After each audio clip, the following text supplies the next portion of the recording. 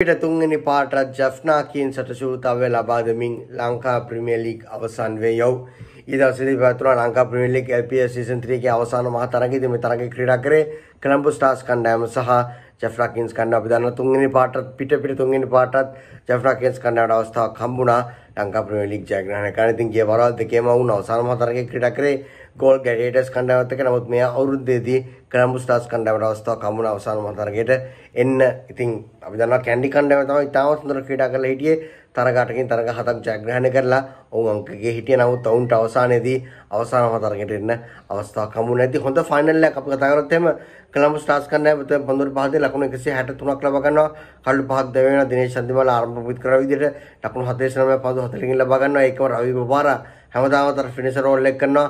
නන්දවි ලකුණු 47ක් පන්දු 33කින් ඉතින් පන්දු එමෙදී තිසර පෙරේරා බිනෝ ෆර්නෑන්ඩෝ මහේෂ් තීක්ෂණ ඒ වගේම දුනිත් වෙලාලගේ එක කඩුල්ල බැගින් දවා ගන්නවා. ඉතින් මේ ඉලක්කය සපුරා ගන්නවා ජෙෆ්නා කින්ස් කණ්ඩායම කඩලු 8ක් දැවි තිබෙද්දී පන්දු 4ක් ඉතිරි තිබෙද්දී ඉතින් ලකුණු 160ට ලබා ගන්නවා.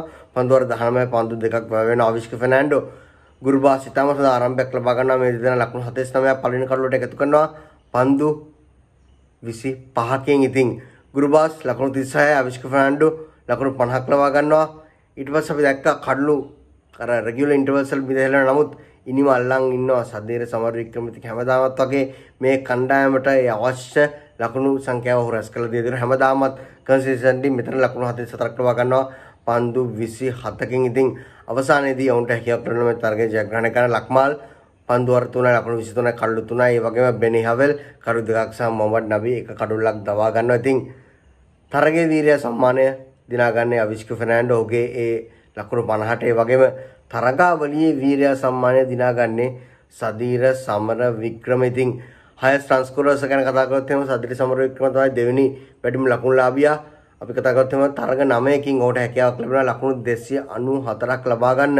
ඇවරේජ් එක 58.8යි බිඳුව ඉතින් හොඳම ඇවරේජ් එක මේ টপ 10 අතර টপ 10 රන් ස්කෝරර්ස් අතර හොඳම ඇවරේජ් එක තියෙන සදීරට අවිෂ්කතයි වැඩිම ලකුණු ලාභියා වෙන්නේ තරග 10කින් ලකුණු 339ක් තුන්වෙනි ස්ථානයේ චන්දිමාල් තරග 11කින් ලකුණු 287යි ඇන්ඩ්‍රේ ෆැචර් තරග 9කින් ලකුණු 266යි කමිදු මෙන්ඩිස් තරග 10කින් ලකුණු 260යි කුසල් මෙන්ඩිස් තරග 9කින් ලකුණු 256යි ගුරුබාස් තරග 9කින් ලකුණු 249යි මේ තමයි වැඩිම ලකුණු ලාභින් සෙට් එකකින් තව ගොඩක් ඉන්නවා. මම පොඩ්ඩක් ගැන තමයි කිව්වේ. ඉතින් සද්දේ සමර වික්‍රම ඉතාමත් හොඳට පිටිකරණය යෙදුනා කන්සිස්ටන්ට්ලි ඉතින් අපිට දැනගන්න ලැබිලා තියෙනවා ඉන්දියානු සංචාරයට නම් කරපු ඒ ප්‍රොබල් ස්කොඩ් එකෙත් ඔහු ඇතුළත් වෙලා ඉන්නවා කියලා T20 සහ ODI දෙකටම ඒක අපි කතා කරත් පන්දු වැවීමේදී වැඩිම කඩුලාභයකට පත්වන්නේ කාලොස් බ්‍රැත්වේට් කඩලු 18ක් ලබා ගන්න තරග 8කින් ලංකාවේ ක්‍රීඩකෙක් විදිහට වැඩිම කඩුලාභයකට පත්වන්නේ නුවන් තුෂාර තරග 9 කඩලු 14යි. ඉතින් අපිටත් දැනගන්න ලැබිලා තියෙන නුවන් තුෂාරත් මේ ඉන්දියානු ප්‍රොබ්බල් ස්කොඩ් එකට ඇතුළත් වෙලා ඉන්නවා කියලා. ඒ ඇවිල්ලා T20 ස්කොඩ් එකට ඉතින් කසුන් රාජිත තරග 8යි කඩලු 13යි. ඒකම වියස්කාන්ත් තරගාටයි කඩලු 13යි බින්දු තරග 5යි කඩලු 12යි ඉතින් වියස්කාන්ත් ගැන කතා කරන්න ඕනේ. තරුණ ක්‍රීඩකයා චෙෆ්මල ක්‍රීඩකයා ඉතාම හොඳට පර්ෆෝම් කරා. ගිය වාර LPL වල ඉතින් මේ පාර ඔහුට හැකියාවක් ලැබෙනවා. හතරවෙනි වැඩිම කඩලු ලාභිය බවට පත් වෙන්න කඩලු 13ක් තරග 18කින් ඉතින් ඉතාමත් හොඳට සමාන තරග 8කින් ඉතින් ඉතාමත් හොඳට ඔහුත් පන්දු යවලා තියෙනවා මේ තරගාවලියේ ඉතින් තරගාවලිය අවසන් වූ අපි දන්නා මිකී ආත අපේ හිටපු හෙඩ් කෝච් ඔහු කෝච් කරා දඹුල්ල කණ්ඩායම නමුත් දඹුල්ල කණ්ඩායමට ලොකු දෙයක් කරගන්න අවස්ථාවක් හම්බුනේ නැහැ. ඉතින් ඊට පස්සේ අපි දැක්කා ඔහු මිකියාත කමෙන්ටරි කරනවා කමෙන්ටරි එකතු වෙලා ඉනවා. ඉතින් මිකියාත පොඩි දෙයක් කියලා තිනවා. මේ LPL එක දිහා බැලුවට පස්සේ ඔහු කියන දේ ලංකාවේ තියෙන ටැලන්ට්ස් ගැන ඉතින් මේ ක්‍රීඩකයන් තුන්දෙනෙක් කොහොම නම් කරලා තිනවා. ඉතාමත් හොඳ ටැලන්ට් එකක් පොටෙන්ෂල් එකක් ෆියුචර් එකක් තියෙන පුළුවන් ක්‍රීඩකයන් කියලා. ඉතින් former Sri Lanka head coach Mickey Arthur has commended the organizers of the Lanka Premier League 2022 stating that this year's tournament has been well organized and successfully executed. ඉතින් ඔහු කියලා දිනවා ඉතාමත් හොඳට මේ තරගාවලිය organize කරලා තිබ්බා. ඒකම ඉතාමත් හොඳට හැම දෙයක්ම smoothly කරුණා කියලා. The LPL 2020 is organized by the IPG company which owns the entire LPL season is headed by Anil Mohan alongside IPL sorry LPL tournament director Samantha Dangwala from Sri Lanka. I think මේ කවුද මේ කරන්න කියලා කියනවා.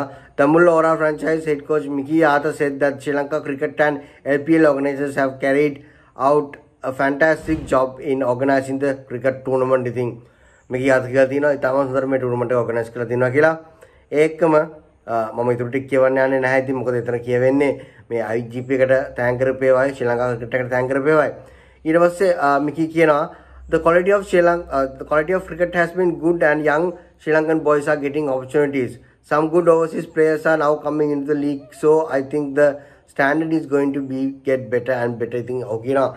දැන් හොඳ foreign ප්ලේයර්ස්ලා එනවා ඒකම තරුණ ලංකාවේ ක්‍රීඩකයන් ගොඩක් ඉන්නවා ටැලන්ට් එකක් තියෙන. ඉතින් දවසින් දවස මේ ටූර්නමන්ට් එකේ තියෙන වැලියු එක ටූර්නමන්ට් එකේ තියෙන ඒ ක්‍රෙඩිබිලිටි එක ඒ හොඳ ගතිය ස්ටෑන්ඩඩ් එක වැඩි වෙනවා කියලා ඔහු කියනවා. ඉතින් ඔහු කියනවා ෆියචර් පොටෙන්ශල් එක ෆියචර් ඔපචුනිටිස් හම්බෙන්න ඕනේ ක්‍රීඩකයන් කීප දෙනෙක් ඔහු කියනවා.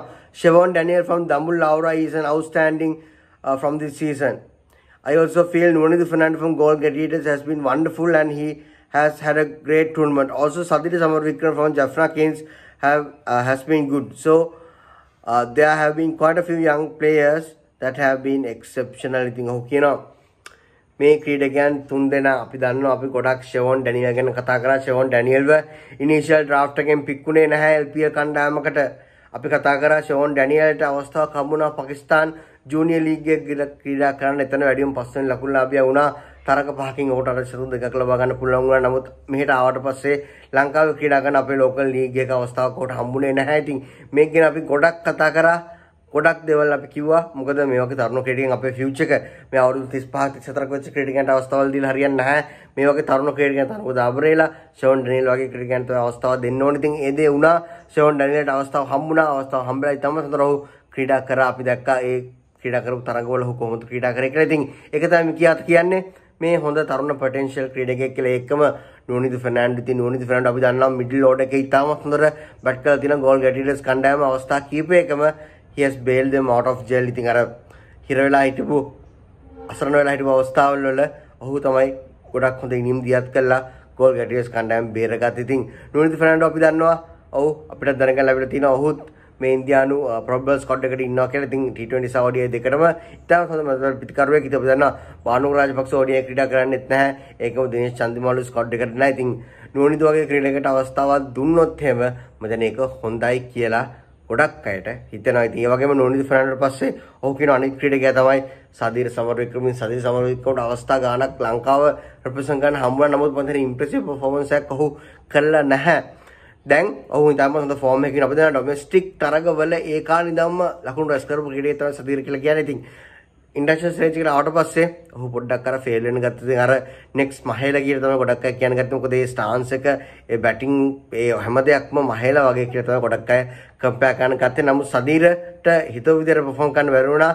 දැන් මේ තරඟවලදී වීරයා බවට පත් වෙලා තියෙනවා. සද්දිර හැම තරගයකම කන්සිස්ටන්ට්ලි ලකුණු රැස් කරලා ඒකත් එක්කම උඩ අවස්ථාවක් හම්බෙලා තියෙනවා. ඉන්දියාවත් එක්ක පැවැත්වෙන තරගාවලියට ඇතුළත් වෙන්න ඉතින් බලන් ඉම්මු උඩට අවස්ථාවක් හම්බෙයිද කියලා මේක තමයි මිකි කිව්වේ. මේ තරගාවලිය පුරාවටම මේ තරගාවලිය තමයි තුන ඕගනයිස් කරලා තියෙනවා. මේ තරගාවලිය පුරාවටම මේ ක්‍රීඩකයන් තුන්දෙනා තමයි කැපී පෙනෙනවා කියලා මිකී කිව්වේ ෂෝන් ඩැනියල් සදිර සමර වික්‍රම ඒ වගේම නුවනිදු ෆර්නැන්ඩෝ ඉතින් ඒ වගේම අපි කිව්වා වගේ වියස්කාන්ත් වගේ ක්‍රීඩකයන්ත් ඉතාම හොඳ ක්‍රීඩා කරලා තියෙනවා. තරුකු දාබරේල් වගේ ක්‍රීඩකයෝ ඉන්නවා.